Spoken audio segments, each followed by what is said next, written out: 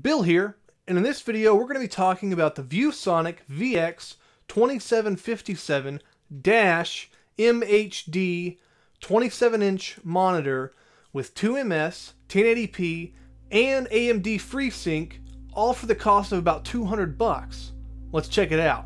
The stand is made of solid plastic and some metal. The fantastic classic ViewSonic logo.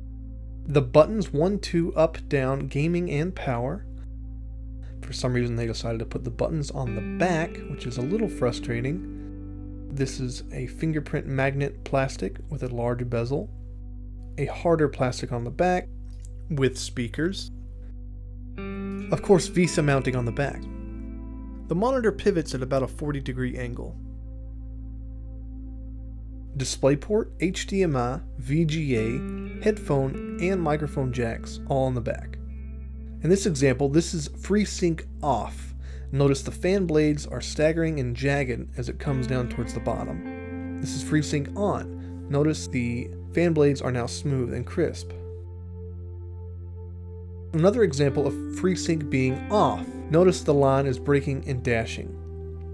When I turn FreeSync back on, the line is smooth and crisp. This is shot from a camera. My camera does have trouble picking it up.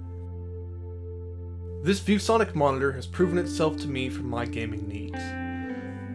It may not be the best quality, it may not be the best quality plastic, it does have a pretty large bezel, but at $200, you can't really ask for more if you're looking to get FreeSync. It is 27 inches. I chose to have a 27 inch 1080p monitor at 60 hertz for $200 rather than going for a 24 inch at 144 hertz.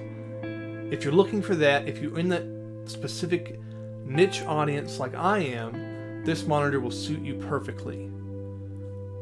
Thanks so much for watching this video. Like and subscribe, and we'll see you next time.